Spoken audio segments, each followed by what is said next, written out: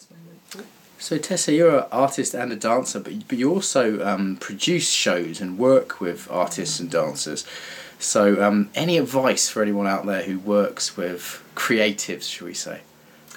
I think there's something in knowing the creative process and that it's not linear, that in order to pull off a successful, say, an international dance production, yes, there's clearly things that need to be done in terms of auditions and funding and trucks and set, but that you also need to allow, in a certain extent, you need to schedule creative time, you need to schedule the unknown, you need to schedule eight weeks of studio time of pff, let's throw a thousand ideas up in the air and see what comes down. Um, so it's actually structuring for unstructuredness in a way.